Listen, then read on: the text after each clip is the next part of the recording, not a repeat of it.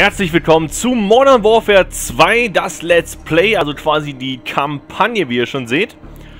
Und ich hoffe, viele von euch haben Modern Warfare 1 äh, entweder noch äh, selber gespielt, beziehungsweise die Missionen davon natürlich, oder bei mir mal reingeguckt oder irgendwo anders bei YouTube. Auf jeden Fall solltet ihr so ein bisschen die Story mitbekommen haben, weil wir teilweise auch die gleichen Charaktere hier in Modern Warfare 2 und dann später auch in Modern Warfare 3 wiedersehen. Das heißt, wer jetzt keine Ahnung hat, was äh, im ersten Teil los war, vielleicht nochmal vorher nochmal nachgucken oder sich vielleicht bei Wikipedia kurz mal äh, informieren, damit ihr nicht so ahnungslos hier reinkommt. Ansonsten würde ich sagen, fangen wir einfach mal direkt hier an. Wer Modern Warfare 1 schon gesehen hat, kennt ja sowieso schon alle, wie es so abläuft, was wir hier so machen.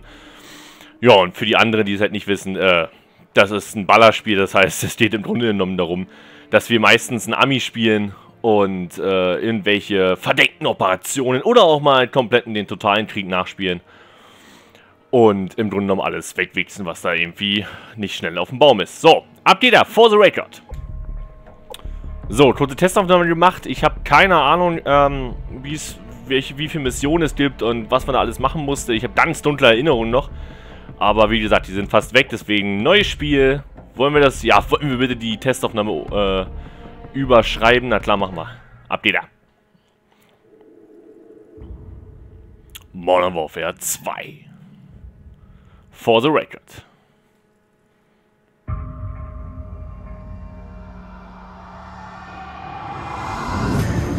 Fett. So, hier haben sie mal einen richtig schönen Vorspann eingebaut. It's the FNG, Sir. Stehen auch die ganzen Entwickler, die quasi an dem Spiel äh, beteiligt waren. Ich weiß nicht genau, was diese grünen komischen Dinger da sein sollen.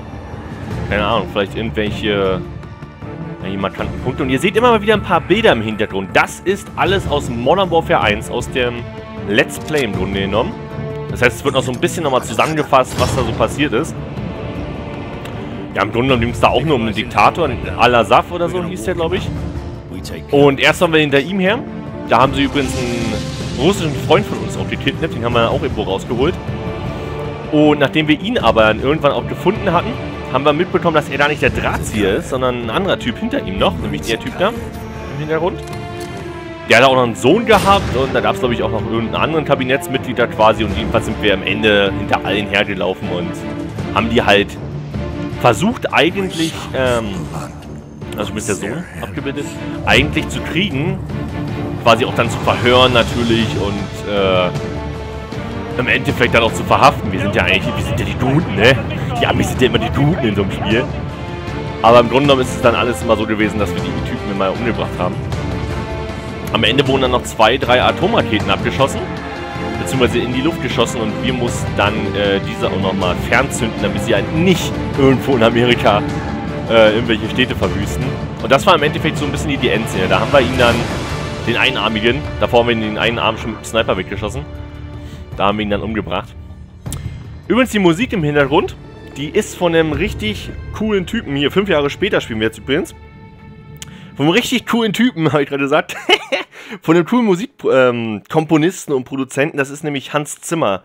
Der ein oder andere könnte ihn auch aus irgendwelchen Filmen kennen. Das ist eigentlich ein Filmmusikkomponist. Äh, auch in Hollywood sehr aktiv. Könnt ihr mal Wikipedia nachgucken. Also Hans Zimmer ist ich glaube, mein Lieblingskomponist, kann man sagen. Lieblingsfilmkomponist.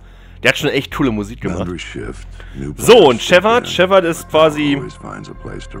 Was ist das, der General oder sowas? Also das ist der Oberste. Der oberste Typi hier von unserer Armee. Und wie ihr hört und seht, wir spielen das wieder auf Englisch, weil einfach Englisch nur original ist.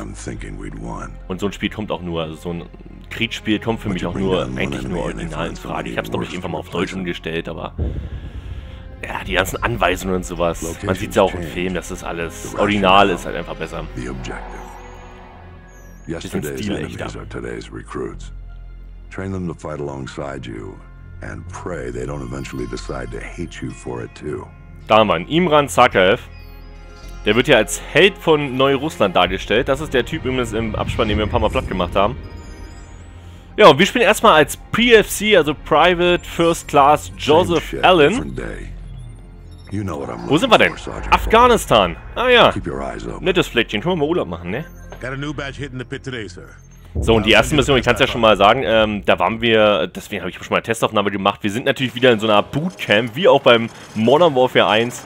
Tag 1, 15.30 ungefähr, erstes Bataillon, 75. Ranger Regiment. Und wir sind hier irgendwo in unserem Camp. So. Was steht denn, Sergeant Foley?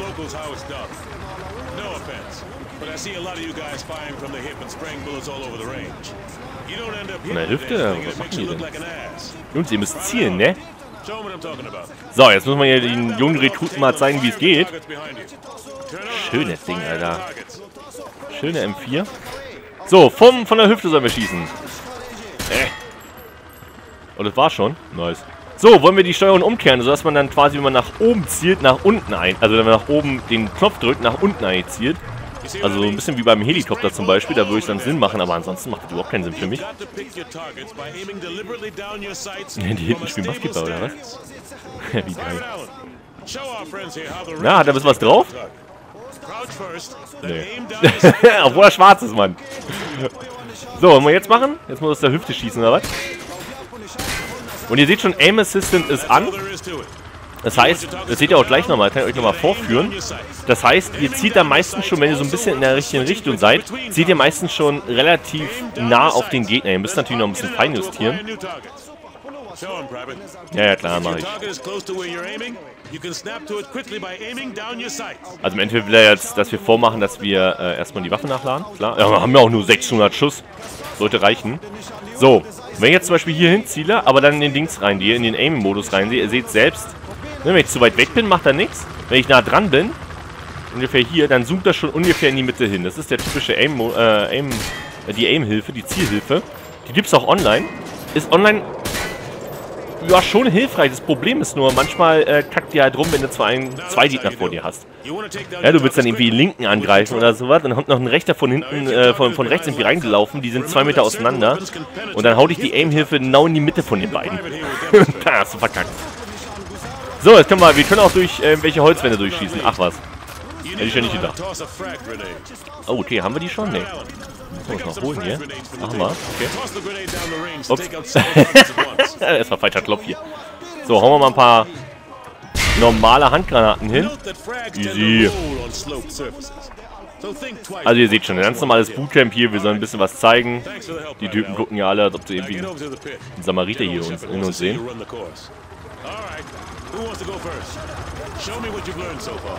Ja, ist hier cool, ne? Mit seiner Bonnenbrille, Alter. Er denkt auch, dass er was... Ah, ist auch ein Captain, Jungs. Jetzt sind hier alle Privates und die ist auch ein Captain. Aha. Ja, so viele Fälle. Er ist der coolste hier. Kann der auch mal was treffen? Oh, hat er getroffen. Nice. Die sind hier am ähm, Schrauben oder was? Die müssen hier den Buggy wieder fit machen. Chillen sich hier einen weg. Ja, ansonsten ist das hier sozusagen das Afghanistan-Camp von den Amis. Wir können noch ein bisschen umgucken hier. Da hinten steht ein dicker, fetter Pavlo, wenn ich das richtig sehe. Hier fliegen generell auch relativ viele Hubschrauber rum. Also, was habe ich gerade gesehen? Da sind ein paar. Nicht schlecht. So, wo sollen wir denn hin? The Pit. Keep out. What? Keep out when warning flags or lights are displayed. Ist klar. So, und wir müssen quasi jetzt so eine Art Teststrecke noch durchlaufen. Das weiß ich noch. Was geht denn? Haben wir eigentlich eine Sekunde aus? Ne?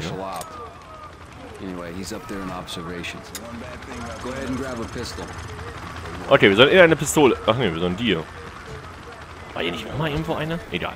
So, fette Desert Eagle. Munition haben wir anscheinend. Wir können nochmal alles nachladen. Weil jetzt geht es natürlich wieder um auf Zeit, ne? Wir sollen ja ganz viele Ziele sozusagen hier, zack, Waffe switchen, ganz viele Ziele in kurzer Zeit platt machen und dann quasi hier wieder rauskommen. Mal gucken, ob wir es beim ersten Mal schaffen. Ich glaube, wenn man zu langsam ist, dann muss man das nämlich wiederholen. So, Junge, macht ein Tor auf hier. Ach du. Okay, wir könnten uns jetzt auch eine andere Waffe hier irgendwie äh, leisten. Die Scar H. Kann die mit? Ja, ich, ich, bin, ich bin so ein alter, alter Hase. Ich würde gerne gern die M4 nehmen. Die M4 ist eigentlich ziemlich cool. Okay, ab geht da. So, ihr müsst also hier quasi durchsprinten. Dann kommen irgendwelche Leute. Das ist ein bisschen Geise hier. Die nicht abschießen. Dann kriegt ihr nämlich Zeitverlust. Äh, zack, zack. Ja, daneben, Alter. Oh, ist ja ein... Uh, war knapp. Aha, da ist wieder einer. Einer, da einer. Zack, nehmen wir mal die Pistole hier. Mili ist mit Kreis, das weiß ich sogar schon. Okay, nicht schlecht. Zack!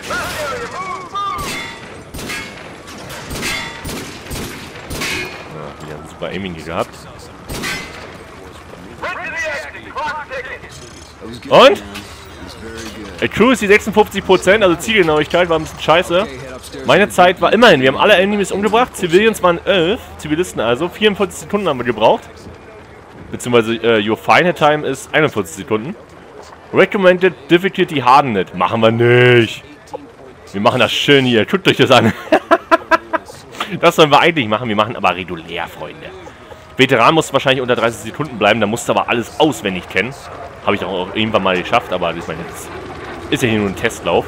Und wir spielen es mal, damit es ein bisschen ruhiger für uns wird, damit wir nicht so viel laden müssen und damit wir auch so ein bisschen mehr die Story mitkriegen und uns nicht so auf das Gameplay äh, fixieren, spielen wir natürlich den normalen Schwierigkeitsgrad. So!